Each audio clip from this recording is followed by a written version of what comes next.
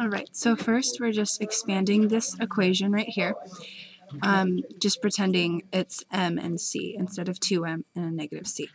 So we get m to the sixth plus 6m to the fifth, c to the first, plus 15m to the fourth, c squared, plus 20m to the third, c to the third, plus 15m squared, c to the fourth, plus 6m, c to the fifth, plus c to the sixth.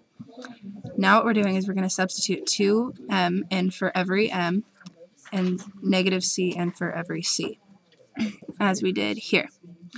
And now we're just going to simplify it all out and multiply everything out. So we end up getting 64m to the 6th minus 192m to the 5th c plus 240m to the 4th c minus 160m to the 3rd c to the 3rd plus 60m squared c to the 4th minus 12m c to the 5th plus c to the 6th.